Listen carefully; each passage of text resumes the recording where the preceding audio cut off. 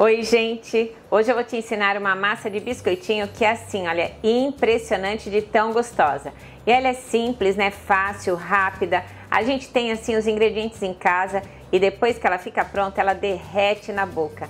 Então, olha, não deixa de fazer essa receita, porque depois que você fizer, você vai ficar assim impressionado de tão incrível e gostoso que é. E olha, você pode só assar ela e comer, ou então você pode rechear com doce de leite ou então com o recheio que você quiser.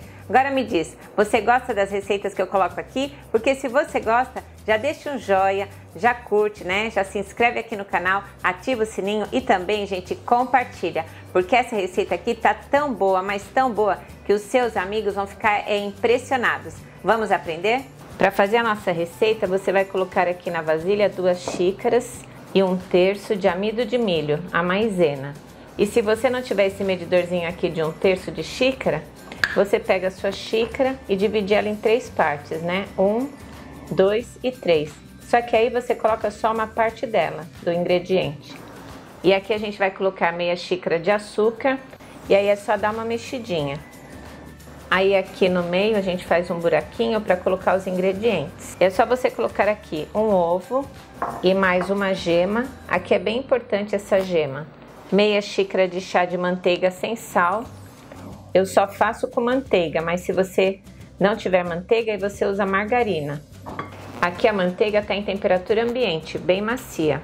Meia colher de chá rasa de fermento em pó e meia colherzinha de chá de essência de baunilha. E aqui com a mão eu vou misturar bem esses ingredientes aqui no meio e depois a gente vai incorporando o amido. E olha, gente, a massa vai ficando super bonita.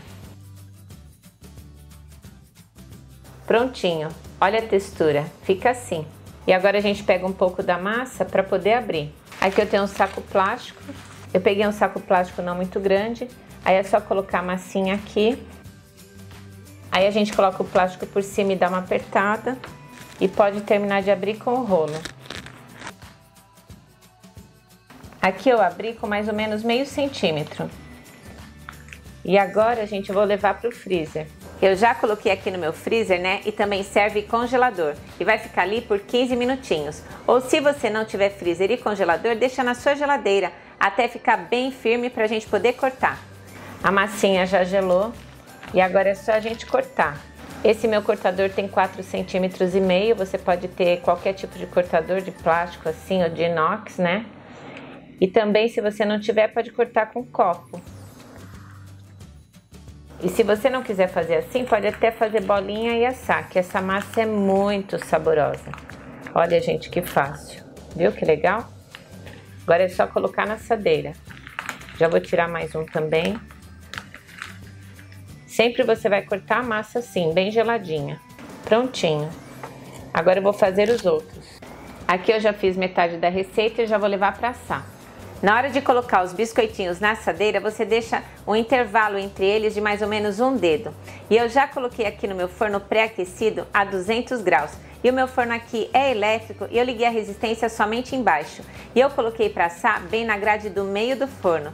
E aí no seu forno convencional, você também vai colocar a 200 graus e vai ficar ali no forno entre 15 e 20 minutinhos, ou até você ver que o fundo tá douradinho, né? A lateral levemente dourada e por cima tá mais clarinho. E aí, né, só você levantar um biscoitinho que você logo vê se ele tá pronto. E a assadeira a gente não precisa untar com nada. Já assaram e olha que beleza que tá.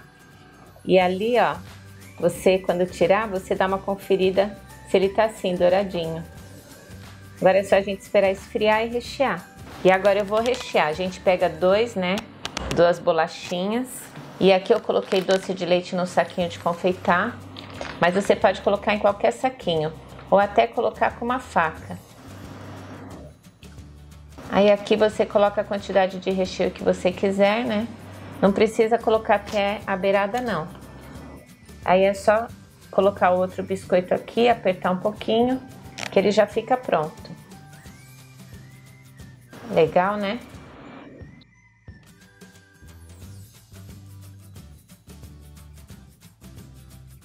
E além de todas as receitas que eu te ensino aqui no canal, eu não sei se você sabe, mas eu também tenho uma escola online. E ali eu vendo um plano de cursos, né? que é vitalício. É isso mesmo. Quando você compra, você tem direito a assistir tudo que tem dentro desse plano e para o resto da sua vida. Olha só, algumas aulas que eu tenho ali no plano são de brigadeiros gourmet, macarrons, panetones, ovos de Páscoa, tortas, docinhos, bem casados. Olha, gente, tem muita coisa boa.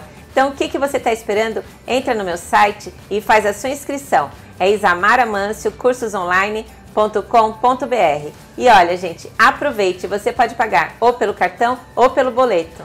Eu já vou pegar um para comer. E você, tá servido? E eu vou partir um aqui para você ver bem a textura.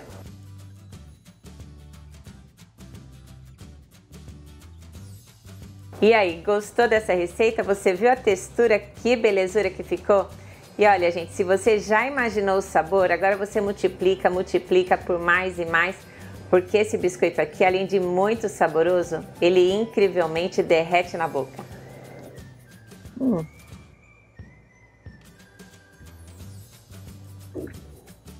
Percebeu? Que incrível! Hum, muito beijo você merece. Hum, hum, hum, de tão bom que tá. Olha, gente, faz. E agora que eu comi, deu para você entender mais ainda tudo que eu já te falei, né?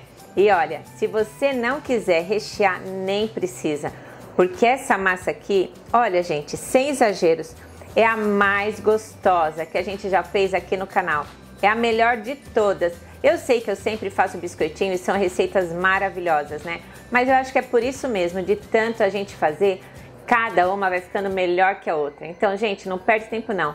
Faz, porque você e sua família merecem comer assim, olha, uma bela de uma gostosura e feita por você.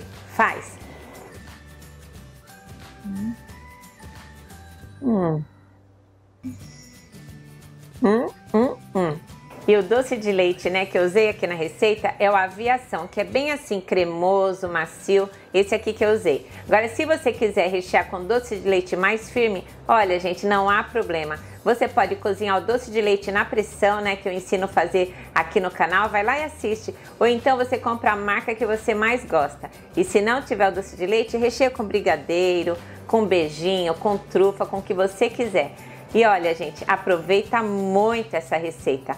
Faz para os seus amigos, faz aí para dar de presente, faz para você comer com a família, mas não deixa de fazer, afinal, né? Se você começar agora, já já Tá pronta essa receita. E olha, aproveita também todas as outras gostosuras que eu tenho aqui no canal, porque tem de tudo para você usar no seu dia a dia, né? Bolos, sobremesas, comidas, sorvete, chocolate, ovos de Páscoa, tudo.